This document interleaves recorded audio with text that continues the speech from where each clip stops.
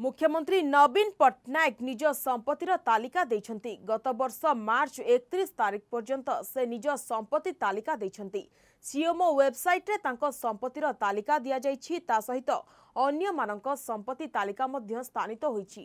ଦେଶର ସାତଟି ବ୍ୟାଙ୍କରେ ନବୀନଙ୍କର ଅଛି ତେର କୋଟି ଏକ ଲକ୍ଷ ଛଅ ହଜାର ଏଗାର ଟଙ୍କା। ବିଓଆଇ ଦିଲ୍ଲୀ ଜନପଦ ଶାଖାରେ ସର୍ବାଧିକ ଏକ କୋଟି ତିନି ଲକ୍ଷ ତେର ହଜାର ଚାରିଶହ ଅନେଶତ ଟଙ୍କା ରହିଛି।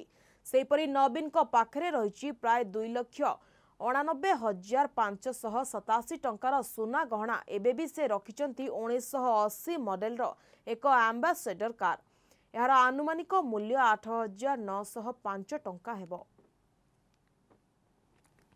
ଏ ସମ୍ପର୍କିତ ଅଧିକ ସୂଚନା ଦେବେ ଭୁବନେଶ୍ୱରରୁ ଆମ ପ୍ରତିନିଧି ଦିବ୍ୟ ଜ୍ୟୋତି।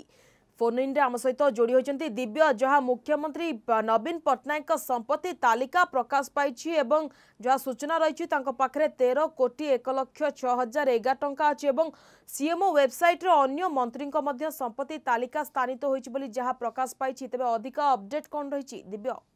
ମୁଖ୍ୟମନ୍ତ୍ରୀଙ୍କର ସମ୍ପତ୍ତି ତାଲିକା ପ୍ରକାଶ କରାଯାଇଛି। ସିଏମ୍ଓ ଯୋଉ ୱେବସାଇଟ୍ ରହିଛି ସେଠି ମୁଖ୍ୟମନ୍ତ୍ରୀଙ୍କ ସମେତ ତାଙ୍କ କ୍ୟାବିନେଟର ସମସ୍ତ ମନ୍ତ୍ରୀ ମାନଙ୍କର ମଧ୍ୟ ସେଠାରେ ରହିଛି ସମ୍ପତ୍ତି ତାଲିକା ପ୍ରକାଶ ପାଇଛି। ମୁଖ୍ୟମନ୍ତ୍ରୀଙ୍କ ଯଦି ବିଶେଷ କରି ଆପଣ ଦେଖିବେ ମୁଖ୍ୟମନ୍ତ୍ରୀଙ୍କର ସମୁଦାୟ ଯୋଉ ସମ୍ପତ୍ତି ରହିଛି ତେର କୋଟି ଏକ ଲକ୍ଷ ଛଅ ହଜାର ଏଗାର ଟଙ୍କା ରହିଛି। ସାତଟି ବ୍ୟାଙ୍କରେ ରହିଛି ବିଭିନ୍ନ ସାତଟି ବ୍ୟାଙ୍କରେ ରହିଛି ଏସବୁ ଟଙ୍କା। ବିଶେଷ କରି ଦିଲ୍ଲୀ ଜନପଥର ଯୋଉ ବ୍ୟାଙ୍କ ଅଫ ଇଣ୍ଡିଆ ଶାଖା ରହିଛି ସେଠି ସର୍ବାଧିକ ଏକ କୋଟି ତିନି ଲକ୍ଷ ତେର ହଜାର ଚାରିଶହ ଅନେଶତ ଟଙ୍କା ରହିଛି।